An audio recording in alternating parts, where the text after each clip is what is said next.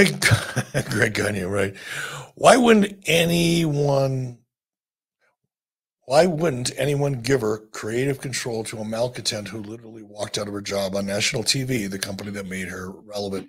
Yeah, that's a good point. You know, there's a, but I would, to be fair,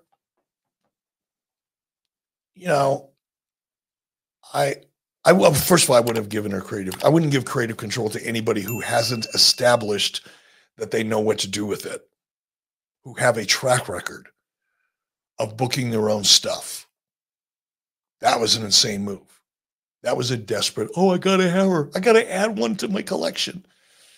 She's going to be like the best toy I was able to buy, add to my collection of real life wrestling talent.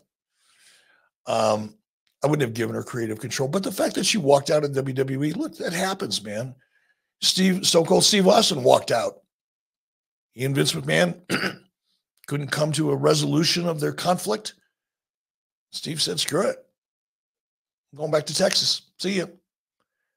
So I, I, don't know that I would have held that against her, but I certainly would have held the fact that she's never demonstrated any ability whatsoever to do anything positive creatively. She had a, she had demonstrated the ability to be a great performer when she was produced and directed. But to give her the keys to the car when she's never demonstrated she knew how to drive, yeah, that's stupid. Just saying.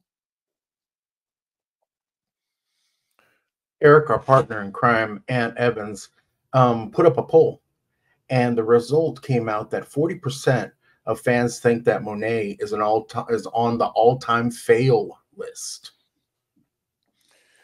It's hard to I'm shocked that 40 it's only 40%. I, I just can't I, I and again it's not personal because I don't know her. I have you know, I have nothing against her. I would love to see her be successful. But I, I am surprised 60% of the people don't agree with the 40%. I mean, it's just crazy. She is absolutely did you see the reaction she got last night? Yeah, it was, it was horrible. And by the way, Orange Cassidy, you suck. I you have potential. I thought you were going to be kind of a cool, interesting character because you were so different. But I watched that promo last night. What a waste of fucking time. What was that?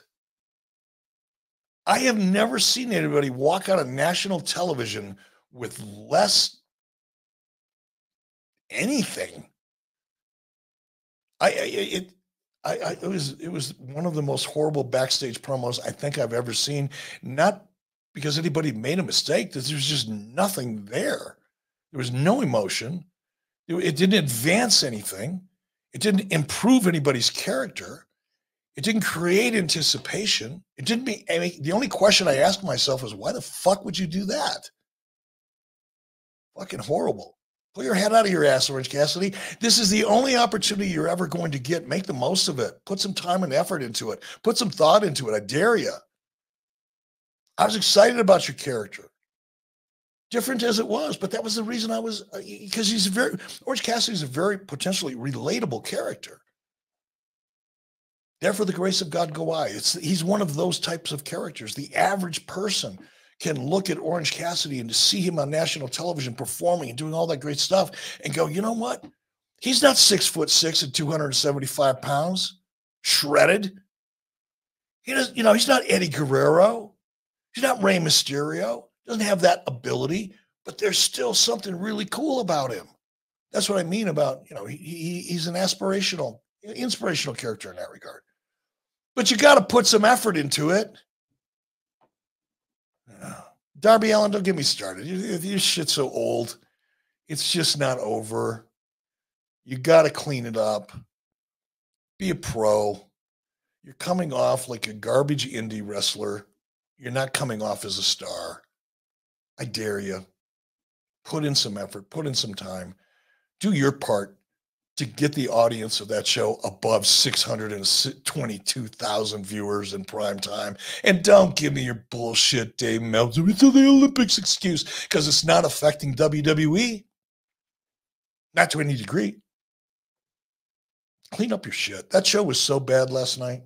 It really, really was bad. I missed the first 15 minutes of it. Maybe that 15 minutes was awesome. But from the time my DVR picked it up till the time it went off the air, it was just the best part of it was Swerve Strickland and JR. I think Swerve did a really good job in that promo. And JR makes it easy. That's what makes JR JR, right? He sets you up. But you have to know what to do with that setup. You have to know how to present your character. You have to know how to make that promo feel legit. And Swerve knocked it out of the park. He did a great job. That was the highlight of that show for me last night. It was one of the best interviews I've seen. There may have been other ones because I don't watch AEW every week, but I thought Swerve did a really, really good job. By the way, it's the only thing that made me go, hmm, "That was really good." Everything else is like, "Oh, why am I watching this?" All right, what do we got? Gold standard. Poor MJF stuck in indie oblivion in AEW, even though he's making money, he is stuck in a creative oblivion yeah, I don't know what happened. You know, I, I really like the MJF character. I, I get the feeling he's kind of getting back to what worked for him in the very beginning. It seemed like when he came back from the injury that he was almost pushing too hard, trying too hard, maybe evolving his character a little too much so that when he did come back, he didn't come back as the character that everybody loved and loved to hate, but loved and missed he came back as almost a different character. And I think from what I've seen, and I've watched I've watched quite a bit of MJF since his return. It wasn't connecting the same way as he did when he left, when he was injured. And now I'm getting the sense that we're kind of getting back to the original MJF character. Perhaps it's just me, and he'll be able to pick us pick up some steam again.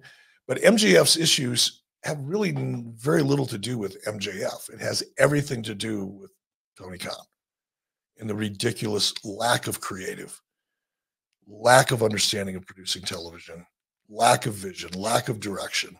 That's what's hurting not only MJF, but everybody else. Yep. Alex Hall, GB. Love from England, EB. Thank you, sir. I went to Wembley for All In last year, had a great time with a non wrestling fan she tried to get into the product after the show, but ended up being a WWE fan instead. Well, hey, at least she's into wrestling. Could have been worse, bro. She could have looked at you and went, The fuck am I doing with you? Be gone with you. But that didn't happen. She did turn into a WWE fan. So be grateful. Thank your lucky stars. Can only get better from here.